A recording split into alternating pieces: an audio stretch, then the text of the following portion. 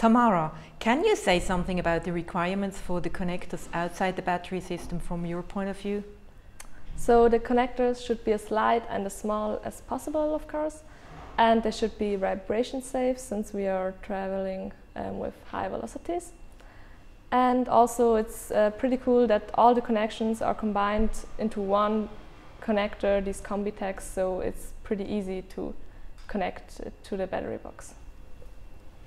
How did you experience the cooperation with Stäubli Electric Connectors people?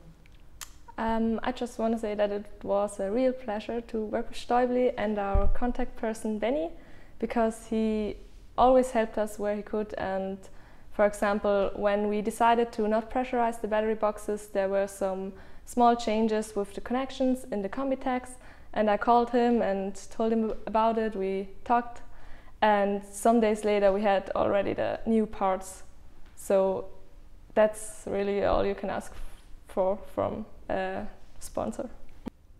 What in particular are the requirements for the connectors from the battery to the inverters?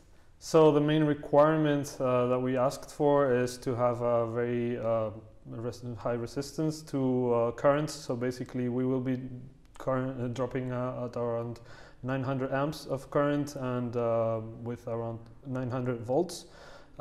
This means that uh, we also want the connectors to not have uh, a lot of resistance uh, for connectivity. So basically, we asked Stäubli to have us produced some silver-plated connectors and bus bars, and therefore we decrease the power losses with, with these high currents that we want to uh, draw from the batteries.